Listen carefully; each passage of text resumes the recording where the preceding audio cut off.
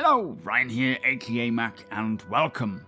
Let us check out the latest information regarding ships and vehicles and their development. As always, a huge thank you to all of my patrons and channel members. Thank you so much for the support, it is truly appreciated. And if you do enjoy my videos, please do consider subscribing and helping the channel to grow. So let us kick off firstly with the Crusader C1 Spirit, which has reached the final art phase, and as we can see, the C1 is now in the 321.1 patch and will go on sale for the live release of that patch, which will be around the 17th of November for the IAE.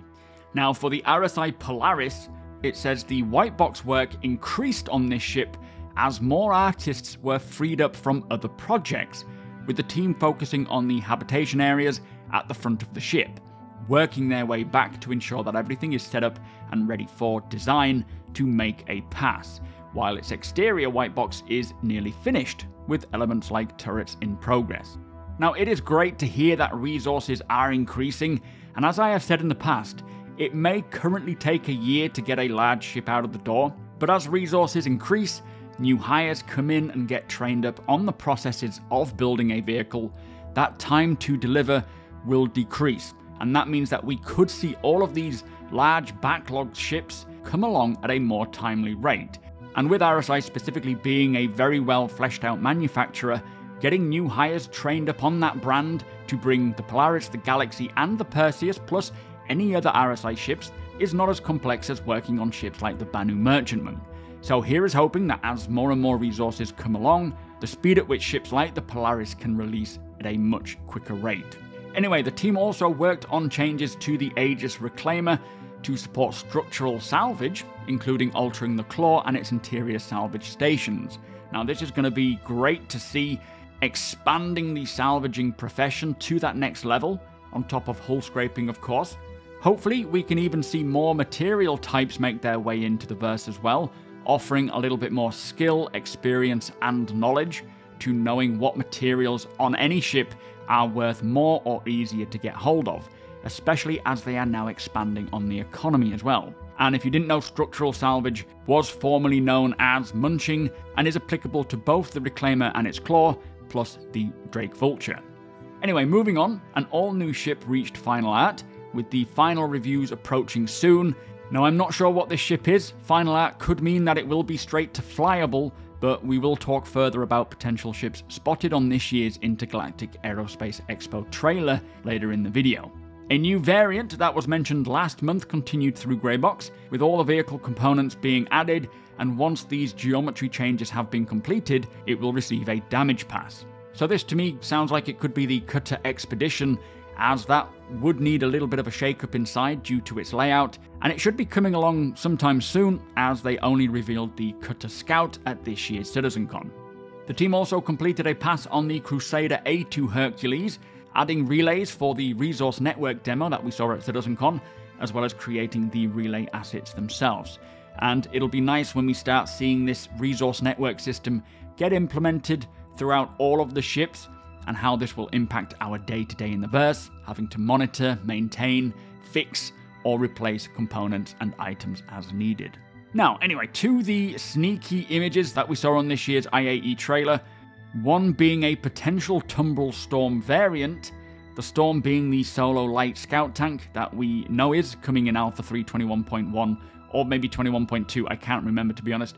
Uh, but one of the variants that has been discussed during the monthly reports could certainly be referring to this image, which looks like a potential AA variant or missile variant. There also appears to be something pointing to the Aegis Redeemer, another potential variant for this year, possibly, although it is a little too difficult to determine anything from this image as it just looks to show the Redeemer, so I won't delve into it too much, but there could be something happening with this ship. We also have a new Xi'an ship on the way. Sounds like it's going to be from Gatac, which could be the Syulen, which is intended to be a Xi'an starter ship, which was one of the previous CitizenCon voting ships. Now, this Xi'an symbol translates as use or utilize. Thank you to Jail for the translation, as always. Uh, and this could be a button, it could just be its name, or something else. I don't know.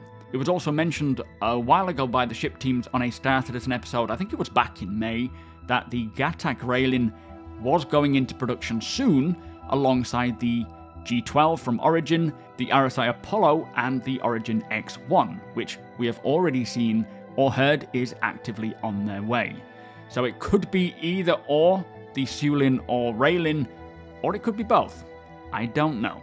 And finally, there is a lot of talk surrounding the RSI Arrasta, which is a large mining ship from RSI that was voted for from last year's CitizenCon.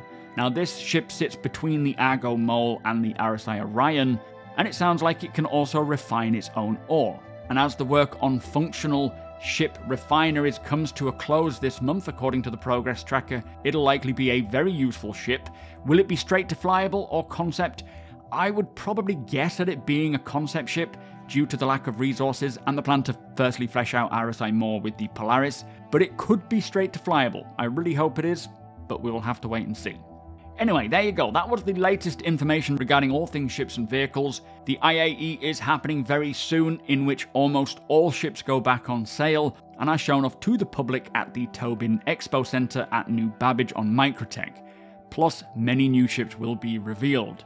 Also, Star Citizen will be completely free to play from November 17th to the 30th. All you need to do is create an account, but do make sure you use a referral code so that you get some extra creds. So if you have a friend who has been nagging you to play, or you just know someone in general who's been playing, ask them for their referral code. By all means, use the one in the top left hand corner of the video and linked in the description below to get yourself that extra 5k. Now, this will give you the opportunity to try Star Citizen completely free between those dates and make the decision whether there is enough enjoyment there for you to play during the alpha phase. But with that said, that is all I have for you today. Please do consider subscribing and helping the channel to grow. Also, come and hang out over at twitch.tv forward slash supermacbrother. We will be checking out Pyro, hopefully for the full stream tomorrow. It is coming up to the last days of the Pyro system. Links are in the description below should you want to join me over at Twitch. Hit the thumbs up if you don't mind, it does the channel a big favour, and tick that notification bell if you would like to be notified when my videos go live. Again, a huge thank you to my patrons and channel members. Thank you for watching, and I'll see you in the next one.